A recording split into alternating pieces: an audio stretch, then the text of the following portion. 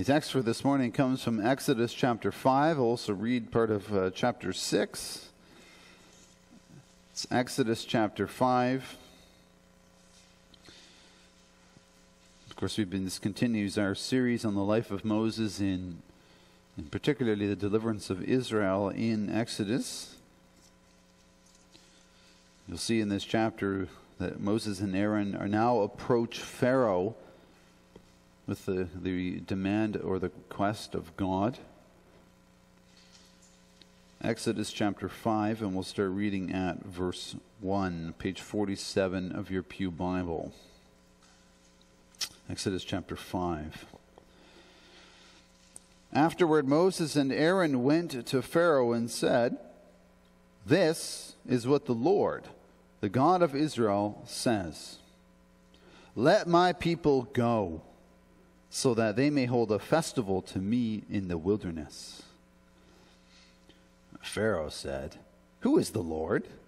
Then I should obey him and let Israel go? I do not know the Lord, and I will not let Israel go. Then they said, The God of the Hebrews has met with us. Now let us take a three day journey into the wilderness to offer sacrifices to the Lord our God. Or he may strike us with plagues or with the sword. But the king of Egypt said, Moses and Aaron, why are you taking the people away from their labor? Get back to your work.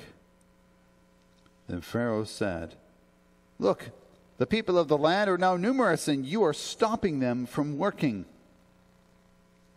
That same day, Pharaoh gave this order to the slave drivers and overseers in charge of the people You are no longer to supply the people with straw for making bricks. Let them go and gather their own straw, but require them to make the same number of bricks as before. Don't reduce the quota. They are lazy. That is why they are crying out, Let us go and sacrifice to our God. Make the work harder for the people so that they keep working and pay no attention to lies. Then the slave drivers and the overseers went out and said to the people, This is what Pharaoh says I will not give you any more straw. Go and get your own straw wherever you can find it, but your work will not be reduced at all. So the people scattered all over Egypt to gather stubble to use for straw. The slave drivers kept pressing them, saying, Complete the work required of you for each day, just as when you had straw. And Pharaoh's slave drivers beat the Israelite overseers they had appointed, demanding, Why haven't you met your quota of bricks yesterday or today as before? Then the Israelite overseers went and appealed to Pharaoh, Why have you treated your servants this way? Your servants are given no straw, yet are told, Make bricks. Your servants are being beaten, but the fault is with your own people. And Pharaoh said, Lazy, that's what you are. Lazy, that's why I, you keep saying, Let us go and sacrifice to the Lord. Now get to work. You will not be given any straw, yet you must produce your full quota of bricks. The Israelite overseers realized they were in trouble when they were told, You are not to reduce the number of bricks required of you for each day. When they left Pharaoh, they found Moses and Aaron waiting to meet them. And they said, May the Lord look on you and judge you. You have made us obnoxious to Pharaoh and his officials and have put a sword in their hand to kill us. And Moses returned to the Lord and said, Why, Lord, why have you brought trouble on this people? Is this why you sent me?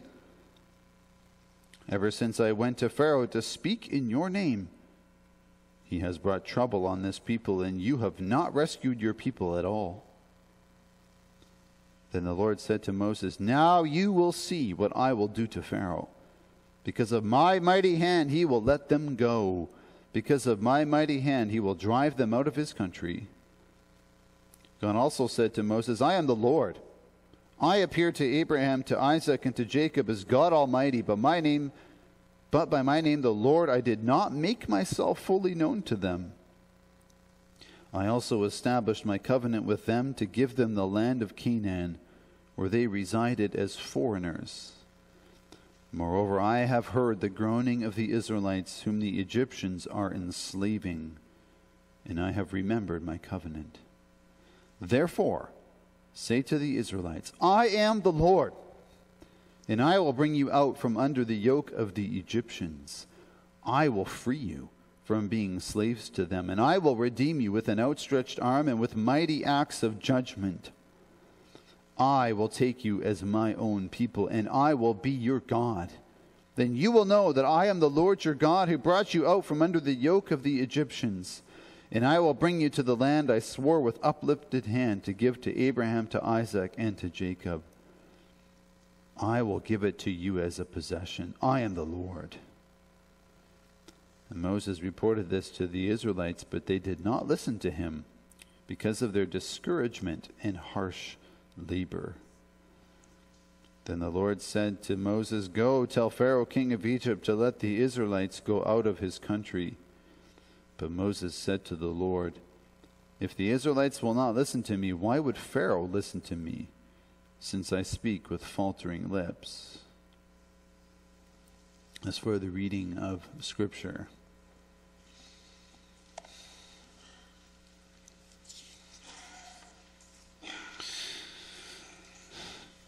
Congregation of Christ, we saw we see here in chapter 5 that the Hebrew enslavement and oppression has not stopped. In fact, it's getting worse. We already saw in chapter 1 that the Hebrew people were enslaved. We saw also that they cried out for help. It seems that nothing happens at first. But God eventually, in chapter 3, he appears to Moses at the burning bush and he says to Moses, You are going to go and you are going to lead my people out of Egypt because I heard their prayer. However, when Moses is commissioned to deliver God's people, he does not believe. He tries to avoid the task, he drags his feet, he complains. But in fact, chapter 4, Moses finally does go. He goes to Egypt and, to do what God had told him to do. And he meets with the, the elders of the Hebrew people. And contrary to his expectations, they believe and worship and are thankful. They seem to be on side. Perhaps God can deliver them and so, with the support of the elders and the people in chapter 4, Moses in chapter 5, our text for today, now he's going to go to Pharaoh, the, the king of Egypt. And he is going to ask Pharaoh to let the people go. Now, we can only imagine as chapter 5 begins the fear and trepidation of Moses and Aaron. I mean, the Egyptian palace must have been monumental. You can only imagine the, given what we've seen of ancient Egypt even today, the soaring ceilings, the acres of gardens, hundreds of guards. This is the epicenter of palace, the incredible paintings on the walls and the, the, the huge pillars. This is the court of the mightiest ruler in the world. And who is Moses? a shepherd from Midian. He's probably dressed in plain clothing. Nothing to his name but a donkey and a staff. Probably smells like animals. This man is going to ask the ruler of Egypt to let a million slaves go. The slaves who have built the storehouses and wealth of Egypt. No, we'll see. I wonder if Moses even, even believes yet whether this is going to work. And it's strange. Uh, you can imagine for the Hebrews too. Why do we have to ask Pharaoh? But God is going to make an example of Pharaoh to display his own glory. And Moses goes. And interestingly, God had told Moses take the elders with you when you meet Pharaoh, but the elders don't come. That's a very significant detail. The elders are hedging already. They're not sure if God will actually do anything through Moses. But nonetheless, Moses, they, they go to Pharaoh and they say to Pharaoh in verse 1 This is what the Lord, the God of Israel, says Let my people go, so that they may hold a festival to me in the wilderness. Now you might ask, well, why a three day festival? That seems strange. Isn't God's intention to take the people out of Egypt? But the request for a festival does two things. First, in ancient Egypt, it was common for workers to ask for such a thing. It was routine, and we've learned this from archaeology. It was routine for workers to ask for a few days to worship their gods. And so this should have been a routine request of Moses and Aaron. They're, they're speaking in language that Pharaoh understands. And second, by having Pharaoh reject such a reasonable request, they illustrate how craven and heartless and hard Pharaoh actually is. And therefore, Pharaoh is worthy of the punishment of the plagues that is to come. And it also shows that the Israelites are right to leave Egypt because who, who should serve such a man? Nobody has to serve such a man. And in the ancient Near East, to refuse someone their right to serve their ancestral gods was a huge insult. And oppressive to a degree that's unacceptable by even the standards of the time. You see, it's not just that Pharaoh opposes God, it's that he's oppressive by any standard. Rebellion has to be the way in this case. Moses and Aaron even say in verse 3 let us take this journey because if we don't, our God may punish us. Again, he's speaking in Egyptian thinking. In the Egyptian religion, if you, you had to satisfy the gods so that they didn't punish you.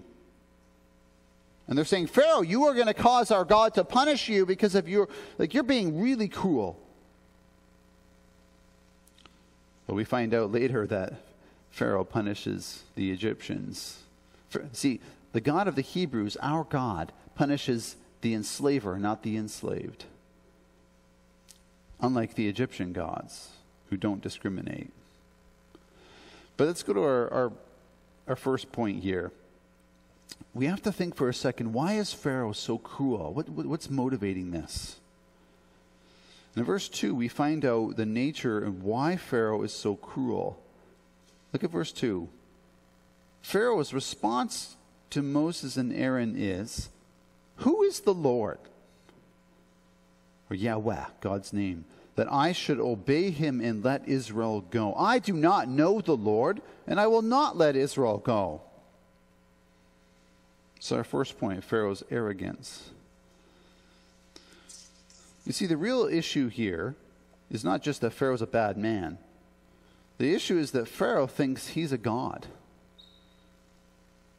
And Pharaoh does not deny the existence of Yahweh, Israel's God. Sure, Yahweh may exist, but I don't care if he exists. I am God in Egypt. Whatever I say goes. And Pharaoh reveals his, himself to be a prideful sinner and this, what Pharaoh is doing, brothers and sisters, is what sin is. Sin is not just to be bad. Sin is to say, I'm God, and the real God is not. Romans 1, verse 21, the Apostle Paul speaks about what sin is at core. What's the problem with our world? Well, verse 21 although they, mankind, knew God, they knew God exists, they neither glorified him as God nor gave thanks to him. So, sin at core is to say, yeah, there's a God out there, but I see no reason to worship him or acknowledge him. I will be God instead in my own life. Thank you very much.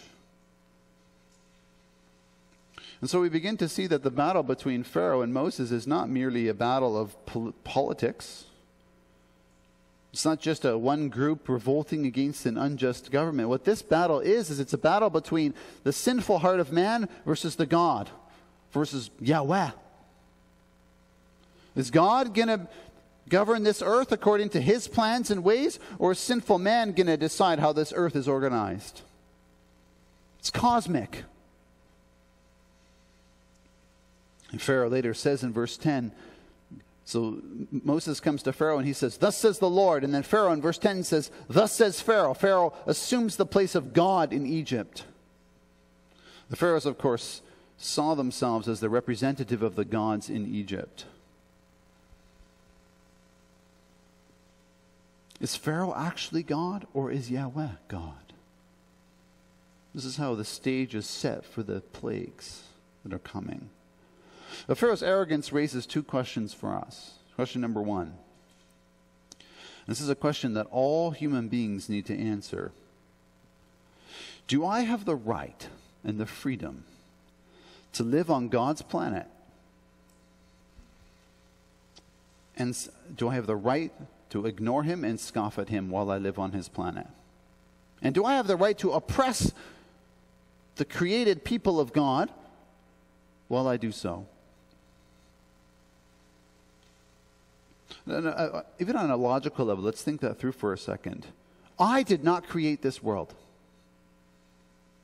It existed previously to me, somebody else made it. Do I have a right to live in this place without acknowledging the person or, who created this? And can I spurn and ignore the person who created it without consequence? This is what the 10 plagues answer. God says, You ignore me, you harden your heart against me, here's the punishment. And it is profound. Maybe you're here today and you're asking this question in your heart How long can I live in God's world while ignoring Him? I don't know the Lord. I don't know Him, and I don't need to listen. You can try to suggest there's a different God. You can try to say that God doesn't speak to us, but He does. And the ten plagues show that He does. And the ten plagues are God's judgment on Pharaoh's attempt to spurn him. And really, the ten plagues, brothers and sisters, are a preview of hell.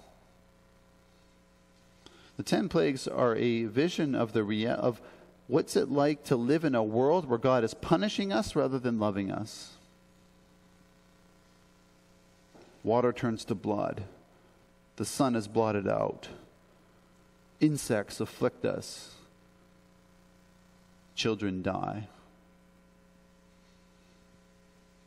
Each ten, ten plagues shows us a form of punishment that God can place upon us if we choose to ignore Him rather than worship Him. Pharaoh experiences this, but he is not the only one who will experience it. Pharaoh's is an example of what will happen to all of us if we don't worship. It is not an easy or fun question to consider. But the Bible is very clear on it. There's a second question. When someone rejects God, what happens to their soul? What kind of person do they become if they disconnect themselves or be disconnected from the the, the God who is love. Has Pharaoh's rejection of Yahweh made him a better person or a worse person? Verse 4 Moses and Aaron say, Pharaoh says to Moses and Aaron, Why are you taking the people away from their labor? Get back to your work. Look, the people of the land are now numerous, and you are stopping them from working. Oh, you want a three day break to worship your gods? Oh. Not in Pharaoh's Egypt. In Pharaoh's Egypt, you work until you die. Your worth and existence is to make him powerful and wealthy. And the word for work in this verse is actually not the word for work. The work is the word is burden. Get back to your burdens and your afflictions. And, and Pharaoh says that you, know, you are stopping them from working. And actually, this word for stop is the word for Sabbath. In Pharaoh's Egypt, you don't get to have a Sabbath. You get to work every day until you drop. Forced labor is all of life because you don't. Ex- the powerful get to do with the weak what they want. That's what Pharaoh's heart is filled with. And Pharaoh doesn't even care. Oh, your burdens are heavy? I'll make them heavier. Are you asking for relief? I'll give you double. All that is left in the land, you don't get to even have, if you made mud bricks, you have to fill them with straw, otherwise, they wouldn't have any strength or integrity. After the harvest, all the straw would be gathered from the, the wheat and the flax and these other crops and be delivered to the mud brick building uh, parts of the, the Nile. Pharaoh's saying, You know, I'm just not going to do that anymore. And this is consequential because if you read the passage carefully, instead of using the straw, so you have the, the roots of the plant, then you have the grain at the top, and the straw is what's in between. But Pharaoh says, I'm not going to give you straw, which means that you're going to have to use stubble. You're going to have to use the bottom of the plant that's left over in the field and the roots. And you have to pull up the roots and this tiny little uh, stubble that's left, and that's what you're going to make the bricks with. So I'm going to deliberately make your job harder than it has to be. And that is abject cruelty. It's actually, it crosses the line from forcing someone to work, and now it's crossing into torture. He takes joy in inflicting punishment on them. This is part of the reason God the, the plagues are so harsh for Pharaoh. Because he is a man, he's an abuser. He is a man who is cruel to the core. He forsakes God and it warps his soul and turns it black as sin. And part of the message of Exodus, brothers and sisters, is that Pharaoh's Egypt is what this world would look like without God in a land where God is not God and Pharaoh is God, this is what life is like. And you might say, well, hold on a second. Not everyone in Egypt suffered like the Hebrews. Okay. So the Hebrews were enslaved and that was awful. But what about the Egyptians? Didn't they enjoy a good life? Well, not really, because they were co opted in the cruelty of Pharaoh. Is it less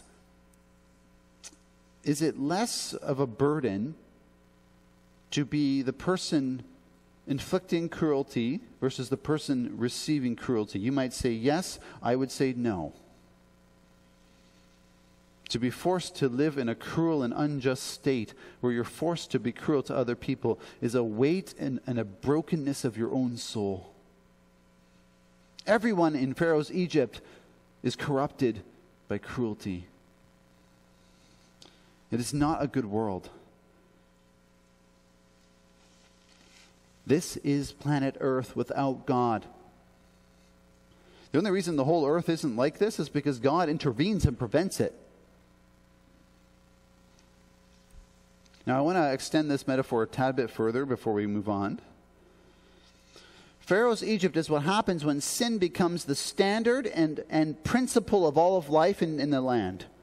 But sin isn't just this way in Egypt. This sin will do this in your family life if you let sin flourish there. Sin will do this in your individual life if you let sin rule there. Think of an abusive household. One person in the household uses their strength or power to abuse and mistreat the other people in it. The abuser denies God, obviously, makes himself God, and then inflicts cruelty by force because who's going to punish him? He has the power or she has the power. Cruel people think that the possession of power gives them the right to do whatever they want. That's sin. the irony is that you will do this to yourself if you let sin rule in your life. That's what sin does. Let's go to the next uh, uh, point the overseers. In our text, there are two reactions to the cruelty of, of Pharaoh. The first is that of the overseers, and the second is that of Moses. We see in verse 15 that the overseers, of course, they're beaten for not making enough bricks. They're beaten by Pharaoh's officials. And then in verse 15, they go and they appeal to Pharaoh. It's very interesting what they say when they go back to Pharaoh. They say, Why have you treated, now listen, your servants this way? And again, your servants are given no straw, yet we are told, Make bricks. Your servants are being beaten, but the fault is with your own people. Your servants, your servants, your servants. The overseers heard the message of Moses and Aaron that God was going to deliver the people. They knew that message. And yet, they don't believe it. They think that the only way out of their situation is to appeal to their abuser, to appeal to the enslaver. They're more Egyptian than Hebrew. They don't believe. They accept their slavery as the default state of life. Pharaoh, of course, unpredictably, rejects their plea. Pharaoh has decided to be cruel. When people decide to be cruel in their sin, they don't stop. You know, one of our struggles in, in this life, Christians too, Christians can be gullible. We, as Christians, we often struggle to see evil as evil. We're always trying to downplay someone's evil. But when someone's heart turns black and it turns cruel, which often happens in our world, it's, that's what's happening. It's cruelty in the core. It does us no favors to deny it. People are like this. This is no favors to go, yeah, but they had a bad this, bad this, yeah, but you know, there's no, there's no excuses either. And you don't need to negotiate with sin, you have to defeat it and oppose it. The Pharaoh says, You're lazy. You're lazy. Your, your appeal is, is worthless. And again, there's a lie. It's not true. It's not that they're lazy. But let's, let's apply this. We've already talked about how Pharaoh's Egypt is a metaphor for sin. The question then becomes how do I respond to a world like ours? Where do I find hope and relief if this is too often the default? The overseers think the solution is to negotiate with sin. And let me put this into practical terms for today. Let's say that you're an alcoholic or maybe a, a drug addict. In your life, a substance rules over you. You cannot live without your substance, your alcohol, your, your, the drug of choice that you have. Now, if you are addicted to some sort of substance, what should you do? What do your friends and family hope you will do? Do they hope that you will say, oh, instead of drinking one liter of vodka today, I'm going to I'm going to try cut down to half a liter? Or, I'll keep drinking, but when I visit with people, I'll try to cut down before I visit. This is what, what I've heard alcoholics say. Is it a good life to be half addicted to alcohol versus in, entirely addicted?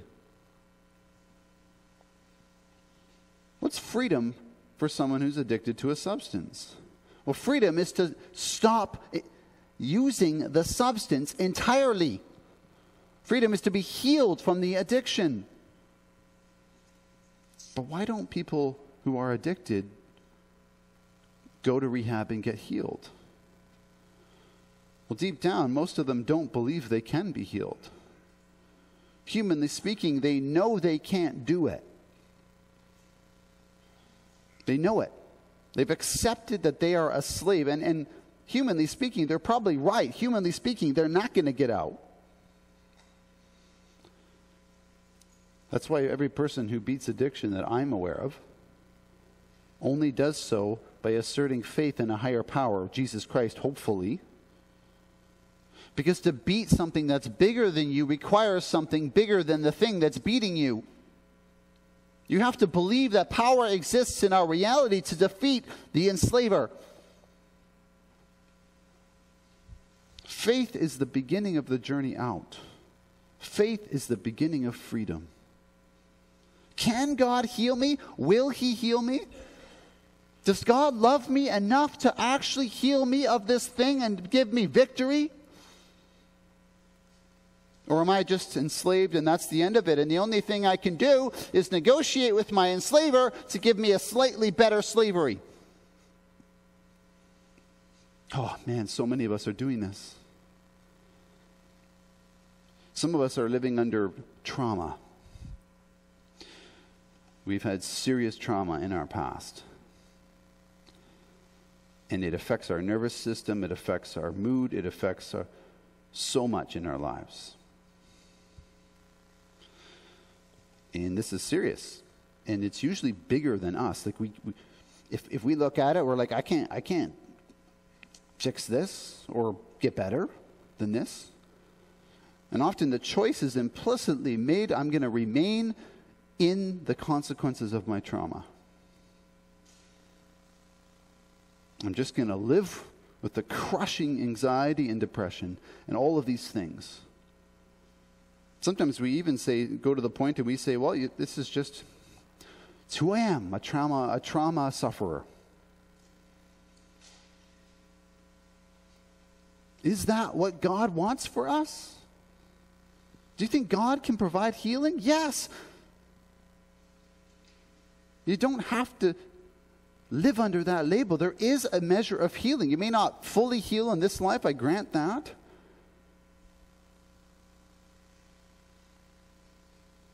But it is possible to not let the thing own you. Or here's a, another one. Some of us live our lives under crushing fear and worry. God says in His Word, Don't worry, because I will protect you and take care of you. But we don't believe God will take care of us in the way that we would hope. And so, in the area of fear, we act like atheists we think that worry will be the way that we manage our fear. We make excuses like, well, worry is how I love my family. If I didn't worry about them, you know, my love for them wouldn't be expressed.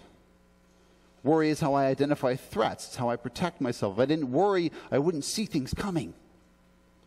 Or we make it pious. Worry is how God humbles me, so it's something I need in my life. Really? Do we believe so little in God that we think that fear has to be our whole existence? That we negotiate with our enslavement? Is a life of worry, filled with worry, just normal? We just have to worry a little bit less? Do you actually think God can give you freedom from something like that? Because He can. If He could deliver Israel from Egypt, He can deliver you from your fears. But if you don't believe that, it ain't going to happen. Here's another one, maybe a little different. One of my uh, friends I know, multiple friends I know, they work as pastors and missionaries in Papua New Guinea. And in Papua New Guinea, the people are enslaved by this sort of witchcraft ancestor religion, and it's really dark. And many people in that culture, they, they love what Christianity offers the victory and freedom and power over this darkness. But many of them, they come to church and they don't really believe that Jesus can deliver them. And so on the side, they pay off the witch doctor. They have all sorts of these ceremonies that they're a part of. They wear amulets, all these, this stuff. They're hedging. They're afraid of all this stuff, and so they try to serve it and negotiate with it so that it doesn't attack them instead of living in the freedom of Christ, who gives them power to defeat all that stuff. And that's happened, that happens. We've seen it there. And all of sin in life works this way. I mean, pornography, lust, addiction, there are all these dark things. And the question you have to ask is do I negotiate with it?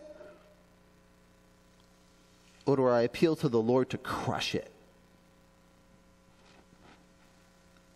Am I a slave or am I going to live in freedom? Our freedom won't come easily. Israel learned that too. But God says it will come, and He will do it if we come to Him. Who is God? What does He promise you? Look at verse chapter 6, verse 6. Look what, he, look what God says, and I want to read each line in turn. Look at. Therefore, say to the Israelites, I am the Lord. How does God identify himself and describe himself? Well, listen. Number one, I will bring you out from under the yoke of the Egyptians. Point one. Number two, I will free you from being slaves to them. Two. Three, I will redeem you with an outstretched arm and with mighty acts of judgment. I will judge and destroy your enslaver. Three or four. I'm losing count. Verse 7 I will take you as my own people, and I will be your God. Not only will I destroy that which enslaves you and rescue you, I will take you to myself, and you will become part of my family. I will adopt you. And I will be your God. I am yours. You will belong to me. Next, then you will know that I am the Lord your God. I will tell you about me. Verse 8.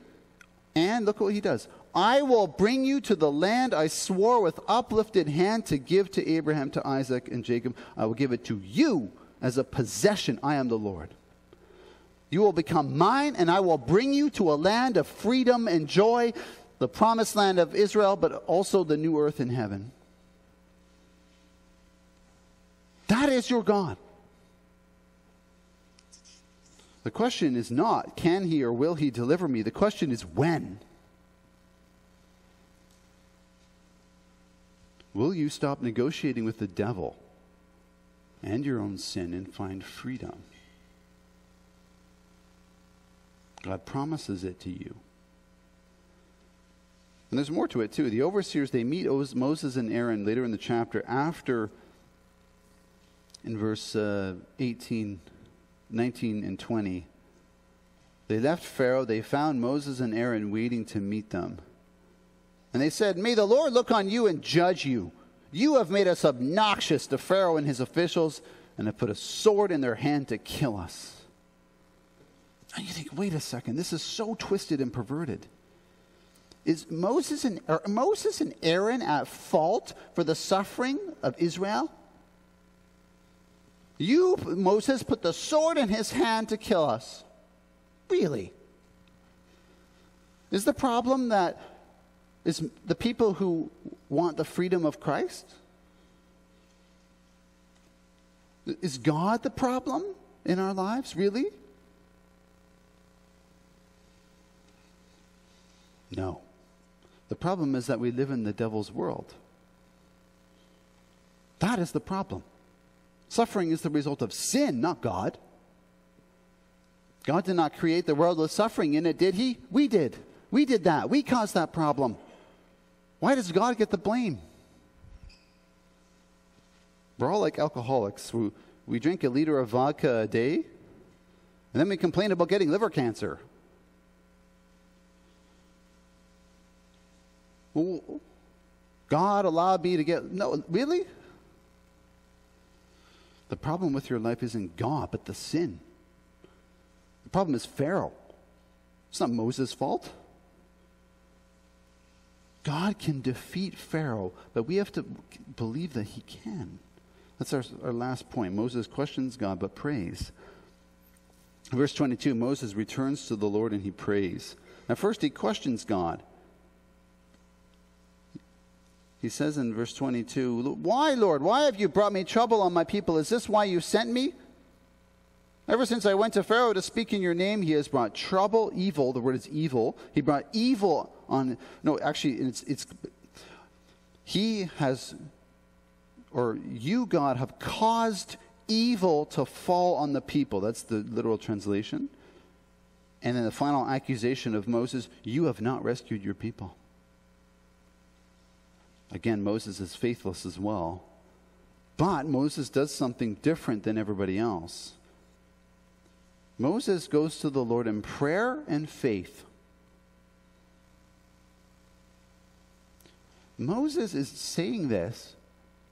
Notice, what he's, notice what's not being said. What's not being said is that Moses believes God can save. Unlike the overseers who had no expectation of that. That's faith. Moses is questioning why God hasn't saved yet. That's faith. And he goes to the Lord. Implicitly, he's saying, God, if you don't save us, nobody will. That's faith again. Earlier, we read Psalm 77, and in that psalm, Asaph, the author of the psalm, questions God. He says, Will God never show his favor again? Has his promise failed? Has God forgotten to be merciful? We're often in this position where we're questioning God's love for us. We're questioning whether he's going to save us. The people in the Bible are full of that. But then in Psalm 77, the psalmist remembers something. You remember in verse 14, he says, Wait, you are the God who performs miracles. You display your power among the peoples. With your mighty arm, you redeemed your people. Wait, God has saved people before in mighty, remarkable ways. Yeah, He's going to save us again. It's going to happen. I need to wait for it. And what's incredible about Moses' prayer is how quickly God moves for Moses. God says in chapter 6, Now you will see what I will do to Pharaoh. Because of my mighty hand, he will let them go. Because of my mighty hand, he will drive them out of the country. Moses, God has a plan. He's going to do it. And God carefully designs his plan to show the whole world, including Pharaoh, that God is going to do the rescuing. Why? Why does God need that? Why is it, do we need to see the Lord's glory in this? Because, brothers and sisters, you need to learn that it is God who saves, not you, not Moses. Imagine Moses would have gotten his way. He went to Pharaoh. Pharaoh said, Sure, the people can go, no problem. Well, then it would have been that Moses saved God's people. No, it has to be done in such a way that they see that God did it. Because in, the, in, in, in truth, in the end of the matter, it's God who does it. That's the thing we need to learn from this. Only the Lord can save you. Negotiating with your enslaver is not going to save you. Appealing to the Lord in faith and, and demanding based on his promises your the deliverance, that is the thing that will get you out. That is what Moses has to learn. And Pharaoh's going to learn it too, but on the flip side. Look at what God says. This is, I'll finish here with this. I am the Lord. Who is the Lord? Is he like Pharaoh? Is he just a different version of Pharaoh? No. I will bring you out. I will free you from slavery. I will redeem you. I will, pay the price to those who enslave you. I will pay the debt you owe. This is pointing to Christ. I will take you to be my own people. I will bring you to a land of flowing with milk and honey. I am the Lord. Again, we see the gospel. God so loved the world that he gave his one and only Son, that whoever believes in him shall not perish but have eternal life. God promises you victory, brothers and sisters. He promises you deliverance and freedom. It may not happen immediately, He has a plan. The when is not up to us, but it will happen. If not in this life, then in the next. But you know, brothers and sisters, in my experience, and I'm just one humble man, I've seen plenty of victory in this life too. And this victory in Exodus is in this life. The Israelites didn't have to wait till heaven for freedom, they got it in their own lifetime. At least their children did. Don't be satisfied with far too little.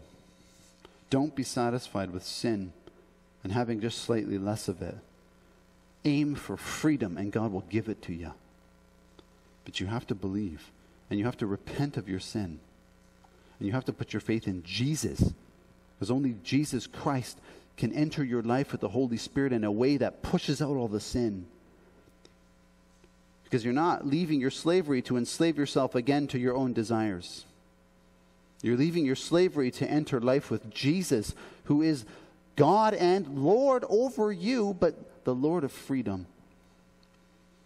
Give your life to Him, and He will free you from Pharaoh. Amen.